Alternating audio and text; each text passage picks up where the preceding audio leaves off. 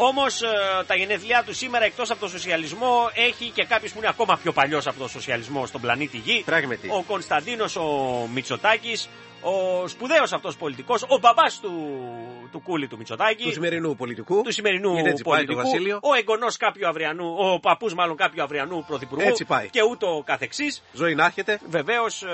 και να έχει. Βεβαίως και μπράβο μας.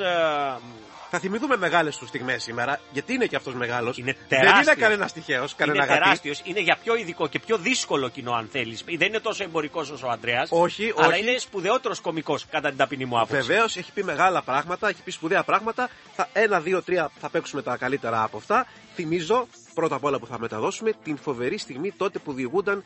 Ε, κατέβαινε από τον πόλεμο του Αλβανίας αυτός, στρατιώτης νεαρός ε, εκείνος. Πώς επέζησε ενός βομβαρδισμού το τρένο του, καθώς κατέβαινε από την Αλβανία. Βομβαρδίστηκε. Βομβαρδίστηκε, αυτός επέζησε. Surisen mi quella, surisen mi quella, surisen mi quella, quella. Suri, surisen, sen, sen mi quella. Και πράγματι μπήκαμε στο τρένο. Εγώ όμως είχα την ατυχία να μπω σε ένα τρένο που δεν έφτασε ποτέ. Πάντως συνέβη να βρεθούμε στο σταθμό της Κορίνθου τρεις αμαξοστοιχίες. Βομβαρδισμό δεν περιμέναμε. Όταν ξαφνικά απογευματινή ώρα, εκεί που ήμουν μέσα στο δικό μου σε βαγόνι που βρέθηκα, ακούμε ξαφνικά να ουρλιάζουν τα στούκας.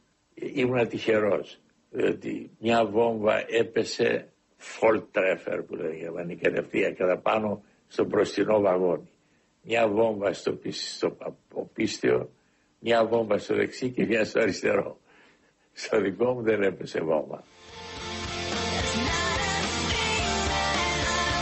Ε, ούτε ο James ο Bond.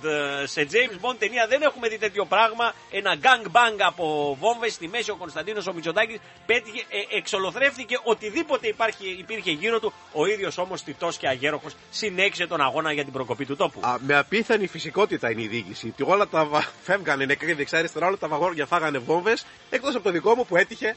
Εντάξει, άνθρωποι είμαστε, έτυχε. Το μεγαλείο του κομικού Μητσοτάκη είναι ότι περιγράφει εξωφρενικά πράγματα. Εξωφρενικά. Με τον πιο φυσικό τρόπο. Ε, ένα από τα μεγαλύτερα hit του ε, είναι το αστείο με τη φασολάδα. Παρακαλώ πολύ. Cumpleaños feliz, cumpleaños feliz, cumpleaños cum feliz, cumpleaños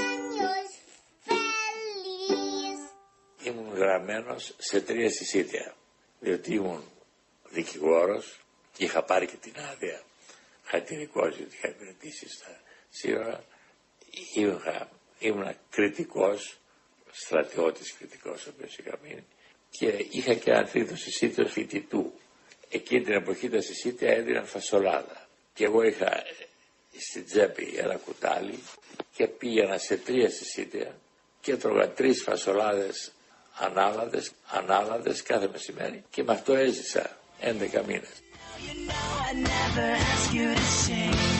Παρήχθη πολύ φυσικό αέριο εκείνη την περίοδο. Μιλάμε για την περίοδο της κατοχής όπου ο Κωνσταντίνος ο Μητσοτάκης στερούσε από άλλους δύο συμπολίτες του συ- το συζήτιό τους. Κάτσε, είναι και δύο μέτρα όμως. Δεν Όχι, είναι το σωστό. ίδιο, γιατί ήταν και φοιτητής και φαντάρος, έτσι όπως γίνεται, και δικηγόρος. Και σε χίλιους να το στερούσε το αξίζει, όπως τα Βεβαίως. έλεγε και ο Γιάννης ο Μπέζος. Και Αλλά για- απλώς επισημαίνω ότι ενώ η διοίκηση φαίνεται σαν να έτρωγε τρία συζήτια, η πραγματικότητα είναι ότι στερούσε δύο συζήτια από δύο άλλους που ενδεχομένως να τα είχαν περισσότερη ανάγκη, αλλά δεν θα ήταν τόσο σπουδαίοι όσο εκείνος. Ακριβώς, άρα η φύση προέβλεψε και γιατί αξίζει, γιατί είναι σπουδαίος, όπως είπες Ναι. και εσύ, γιατί μας χάρισε αυτή η τρίτη του τελευταία ε, διοίκηση την πιο ωραία ιστορία που είχε πει εκείνος ποτέ, κατοχή πάλι. Τραγική ιστορία, παιδιά, γιατί δεν είναι μόνο για γέλια η ζωή συγγνώμη, του Κωνσταντίνου συγγνώμη, του Μητσοτάκη. συγγνώμη. Ε, η- δεν είχε μόνο φασολάδα, είχε και πολύ πείνα. Και πολύ πείνα. Πέτρο. Πολύ πείνα.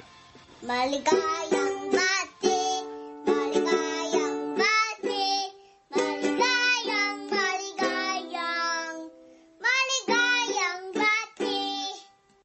που θυμάμαι την πείνα στην Αθήνα όταν το βράδυ που κοιμόμουν μαζί με τον Μακαή, τον αδελφό μου, το βράδυ δεν μπορούσαμε να κοιμηθούμε από τις φωνές των ανθρώπων, πεινάω γύρω μου.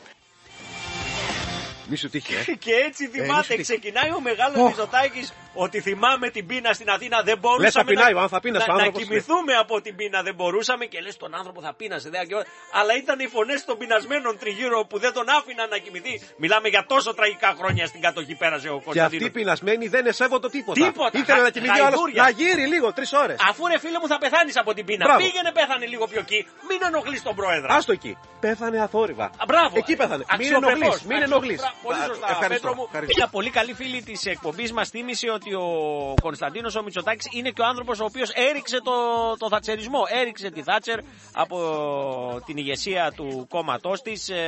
μία μέρα πριν την παρέτησή της συναντήθηκαν. Α, πες τα από την αρχή, φώτισε τα ιστορικά τα γεγονότα. Θα τα φωτίσει ο ίδιος, παρακαλώ. παραμονή είμαστε μαζί στις Βρυξέλλες μαζί και με άλλους ηγέτες Ευρωπαίους μας διαβεβαίωσε ότι κάτι συμβαίνει αλλά είναι τα πράγματα πολύ καλά μην ανησυχείτε μας λέει θα τα καταφέρω και έφυγε και δυστυχώς έπεσε η Θάτσερ ήταν Και δυστυχώς έπεσε η Θάτσερ, Ήταν λέει, μοιραίο κάπως από τη συνάντηση και μετά. χαμογελώντας μέχρι τα αυτιά ο Κωνσταντίνος ο Μητσοτάκης και μπράβο του.